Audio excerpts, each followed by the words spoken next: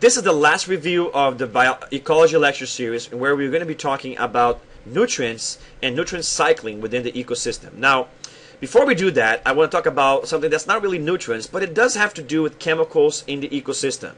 The idea is that when humans pollute the ecosystem, the amounts of those pollutants will spread throughout the food web. Basically, the algae will absorb some nutrients, all right, directly from the water because it's consuming that water. Now, let's say the algae absorbs a little bit, one unit of toxins. But then the shrimp will eat the algae, and maybe the shrimp will eat 10 algae. But if each one of those 10 algae had one pollutant inside of it, but that shrimp is going to have 10 pollutants inside of him. But then the bottom feeders, which will feed on the shrimp, will also eat a lot of shrimp. Now remember that as you're going up the food web, there's going to be less and less energy available. There's less and less numbers, there's less and less biomass as you go higher and higher. And it, since there's less and less energy, in order to sustain larger and larger numbers, especially since the predators tend to be bigger and bigger or more and more complex, they are going to have to eat more and more to actually have to deal with that, that, those circumstances. Which is why, actually, when we talk about this in a different video, it's actually beneficial to eat at the bottom levels because it can support more people. There's more energy available. So if you eat it like a vegetarian, there's less. Uh, you can feed more people because there's more people available. So in other words, you can feed more people off the green field if you plant wheat on it than you can feed if you eat the cows which ate the field. And because remember that some of the energy that the cows are actually going to be eating is going to be wasted as the cows do their work and do heat and all those kinds of things, and that the cow will poop and not going to assimilate all of the food that it actually eats. Some of it doesn't get digested.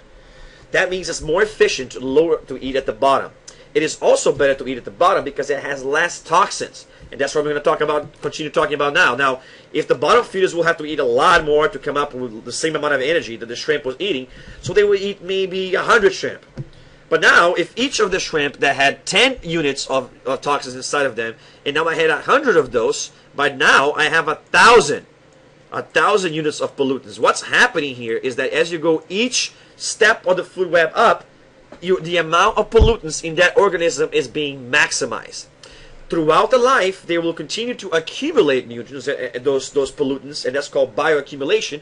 And then throughout the food web, as you go higher and higher in the food pyramid, you actually end up getting biomagnification of the toxins. By the time you get to the top predator, it's millions of times of toxicity of, that it was the bottom. Which is why, again, it's better to eat from the bottom. But this is food for thought that when humans pollute the air and acid rain ends up falling in the rivers, oil spills, uh, sewage spills, uh, waste from, uh, from factories, or even trash ends up in the oceans, all of these things in lakes and rivers, all of these things will be affected, and those those things will end up being biomagnified. And by the time we eat the things of the oceans, we're going to eat thousands of times uh, the amount of pollution that is actually available in the ecosystem, and that's a big deal. So that's why we, it's also good to eat at the bottom, like we said. There's going to be more energy available at the bottom. There's going to be less toxins, more food. You can feed more people, and it may even help the ecosystem in some ways. Although, if you are eating too much from the bottom, everybody else at the top of that will actually become affected because now you're competing with their nutrients. So if there's an animal that also depends on that field, now he's going to run out of food because you took the food from him. So that's a problem for ecosystems on the earth. Finally, matter cycles through ecosystems. We talked a little bit about that when we mentioned that the cycle of life, that the energy is going to flow, but as the energy flows, it flows through matter, through the organic compounds created by the producers using the energy of sunlight to make them, to build them. It's kind of like they're, they're the ones putting the Lego pieces together, but they needed energy from the sunlight to get to be able to do that. But ultimately, all those Lego pieces go back to the soil where the plants end up using it again. So things cycle in nature. And the same thing is true about not just through life. They cycle in nature in general to the atmosphere, the geosphere, the hydrosphere, and so forth. These are called the biogeochemical cycles of nature, and there are several which are important for life. The first is the water cycle, which involves the process of water evaporating from the ocean. But not all of the water that evaporates from the ocean ends up falling in the actual ocean, which means some of that water ends up going to the land. So less water rains on the ocean than water evaporates from it, and that's what drives the, the water cycle. Now, in addition to that, water also comes from living things which uh, which put water under surface to cool them down. It's called evapotranspiration, and from direct sublimation. Now, eventually, it will go up in the atmosphere, cool down, and rain as precipitation and other kinds of precipitation like ice and snow and sleet and all kinds of stuff. Sometimes that water from the rain will be trapped as ice for thousands and thousands of years in glaciers. Other times it will run down the mountains through rivers and streams and ends up in places like lakes or the groundwater table discharge as it seeps into the ground. If it seeps into the ground, the soil and the rocks in the ground will slow down the movement of the water for thousands of years before it actually gets to the oceans and sometimes even prevents it. But ultimately, all the water will return to the ocean to complete the water cycle, and that's kind of how it is. So, very important for life. It has to do with energy because it, water needs energy to go from liquid to, to gaseous state, and it releases energy when it goes from gaseous state to, to uh, either solid or liquid state. So this has to do with the absorption of energy as well, and it's a fundamental cycle since all life forms will rely on that water since most of our life forms are made up of water. Another fundamental cycle of life is the carbon cycle. And that's the, that's the cycle that has to do with cellular respiration and photosynthesis. Life traps carbon dioxide from the atmosphere and puts it into sugars into the process of photosynthesis. And it also releases in return oxygen, right? But then the, those producers get, feed, get fed on, and then the, all the organisms eat those, and throughout the food web, the, the carbon will spread in the sugar that it's uh, now trapped into. And then those things will do cellular respiration, and then some of the carbon goes back to the atmosphere as gas. Other carbon stays in the carcass of the organism and in the waste that as it dies, it will get decomposed uh, by other bacteria and things like that. Now, some of that material that gets decomposed actually puts carbon to the air again because decomposition also produces carbon dioxide. But sometimes the carbon will actually sit on the soil where we go lower and lower by a process called deposition. Other times, erosion will pick up the carbon and move it somewhere else, often into the water. Now, the the same process will happen in the water as well. Cell respiration, photosynthesis, feeding, deposition, all of that. Eventually, the carbon deposits and gets top onto each other and forms sedimentary rocks, which become ultimately carbonate rocks. Now, those carbonates can be eroded, and then the carbon goes back to the atmosphere or the water, or they can be uplifted or even melted and become part of a volcano activity, which also releases carbon to the atmosphere. Carbon also goes to the atmosphere doing forest fires, or when humans burn the fossil fuels, which sometimes form as animals get trapped under the under layers of dirt and settled into the bottoms of the parts of the uh, geosphere. But throughout this process, what's happening is that the things are cycling through all the parts of the earth.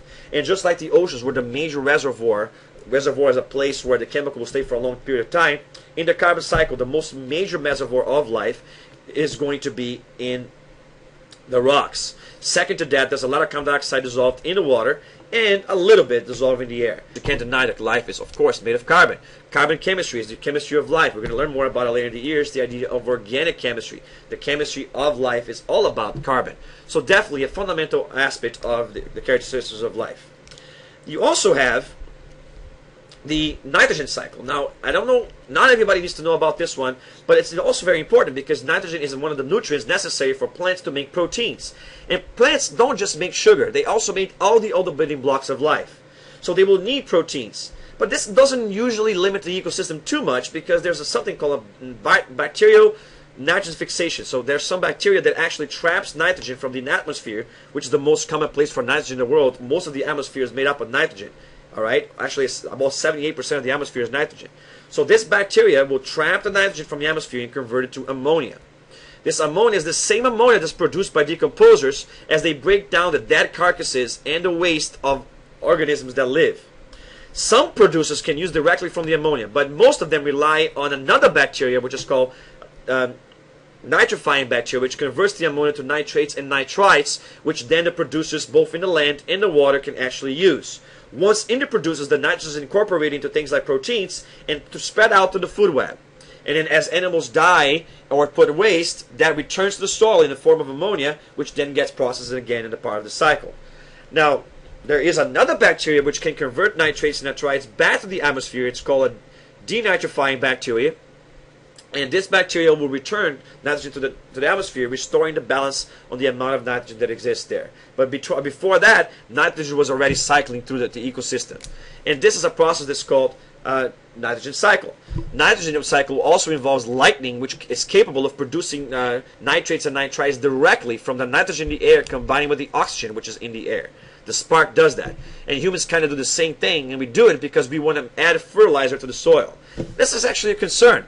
If the soil adds too much fertilizer and then it doesn't keep it, and rain comes and carries this fertilizer somewhere else, all of a sudden you're going to get ecosystems of the earth with a massive influx of fertilizer, and then things like algae bloom and eutrophication will happen, and that's bad for ecosystems, and we'll learn about that later. Now, Another type of cycle is the phosphorus cycle. And the only reason why this is super important is because phosphorus is a component of energy molecules inside your cell and of DNA. And also because it is usually the most limiting factor of the major nutrients of life. Phosphorus is rare because unlike the other cycles which involve the atmosphere, which allows the chemicals to spread around the earth easily, the phosphorus cycle never goes to the atmosphere. So it all it depends on rocks being eroded and move around by erosion and deposition. So it takes a very long time to happen, and this means that the nutrients are not as easily distributed as they are in the other cycles. Cycles which involve gaseous elements will cycle faster. Just like in the atmosphere, things will cycle faster since the air moves a lot. Second to that, the water moves a little faster, and, and then to that, the life, which doesn't really last that long. So even if you stay in life for a very long time, eventually you're going to get to the apex predator, and then that chemical is going to end up back in the decomposer.